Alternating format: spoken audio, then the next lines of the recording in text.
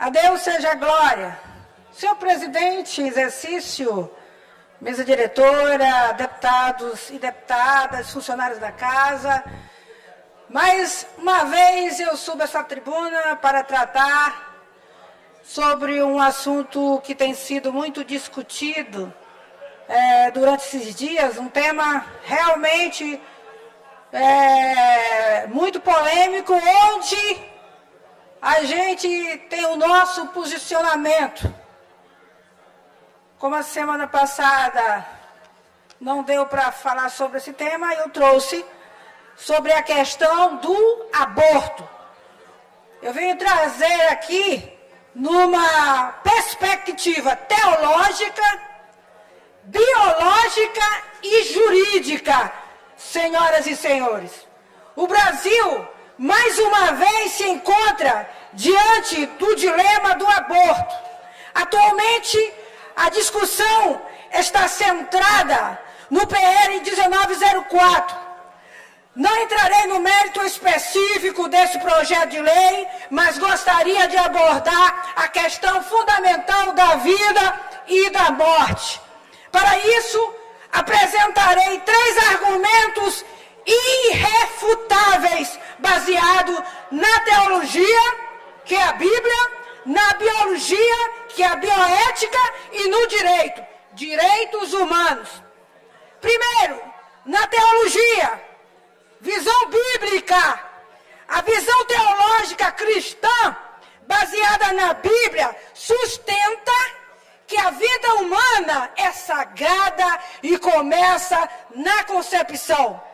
Cada ser humano é criado à imagem e semelhança de Deus e a vida, desde o seu início, é um dom precioso de Deus. Está escrito no livro sagrado, em Salmo 139, versículo 13 e 16, que diz assim: de 13 a 16: Tu criaste o íntimo do meu ser e me teceste no ventre de minha mãe. Eu te louvo porque me fizeste de modo especial e admirável. Tuas obras são maravilhosas. Digo isso com convicção. Meus ossos não estavam escondidos de ti, quando em secreto fui formado e entretecido como nas profundezas da terra. Os teus olhos viram o meu embrião. Todos os dias determinados para mim foram escritos no teu livro antes de qualquer deles existir. Isso e Salmo. Na visão é bíblica, no livro de Atos, capítulo 17 e versículo 25. Ele mesmo é quem dá a todos a vida, o fôlego e as, de, e as demais coisas. Essas passagens bíblicas, meus amigos, meus colegas deputados, deixam claro, deixam claro que Deus conhece e valoriza cada vida humana desde a concepção, conferindo à pessoa com um propósito e dignidade única. Agora, na visão biológica, bioética, do ponto de vista biológico, a vida humana começa na concepção. Esse é o momento em que o espermatozoide fertiliza o óvulo, resultando em quê? Em uma nova entidade com um código genético único. Repito, com um código genético único. Desde a concepção, o embrião humano possui as informações genéticas necessárias para o desenvolvimento de um ser humano completo. Desenvolvimento embrionário. A ciência moderna confirma que a partir do momento da concepção, o embrião começa um processo contínuo de desenvolvimento. Cada estágio, desde, desde o zigoto até o feto, é uma fase de crescimento e desenvolvimento do mesmo ser humano. Princípios da bioética. Os princípios bioéticos de beneficência e não maleficência sustentam que devemos proteger e preservar a vida, a vida humana. A dignidade da vida humana deve ser respeitada em todas as suas fases, desde a concepção até a morte natural.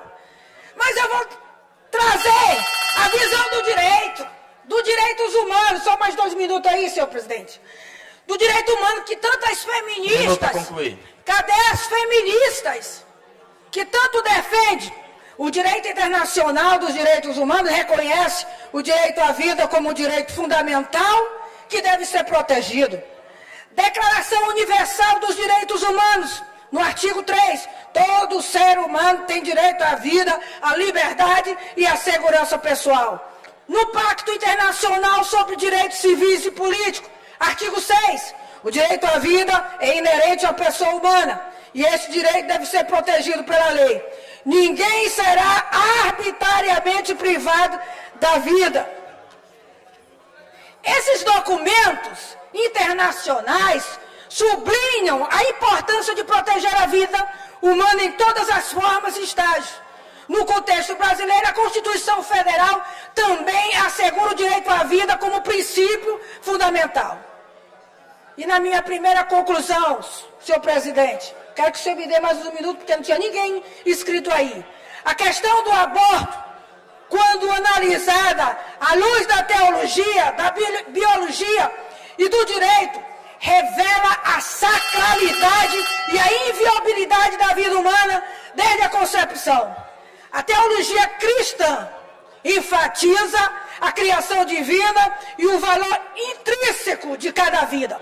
A biologia confirma que a vida começa na concepção e se desenvolve continuamente. O direito internacional e nacional reforça a proteção do direito à vida como princípio fundamental dos direitos humanos. Conclua, deputada. Estou concluindo, senhor presidente. Senhor presidente, tem alguma pessoa já inscrito aí? Cinco Rapaz, pessoas. Eu agora, não tinha ninguém vou concluir aqui um minuto. Portanto, portanto, ao, ao debatermos sobre o aborto, devemos considerar esses argumentos sólidos e refutáveis que apontam para a necessidade de proteger a vida humana desde o seu início, garantindo assim a dignidade e os direitos de cada ser humano. Conclusão. Na minha mais sincera opinião sobre o assunto, acredito que o que deveria estar em discussão no Congresso Nacional não é o PL 1904, mas sim o PL 5398-2013, que prevê a castração química de estupradores, especialmente no caso de reincidência. A morte de inocência. A morte de inocentes no ventre da mãe não pode ser usada como arma de vingança contra os estrupadores. Não há mais insano do que ver abortistas levantando a bandeira dos direitos humanos. Essas são minhas palavras, senhor presidente.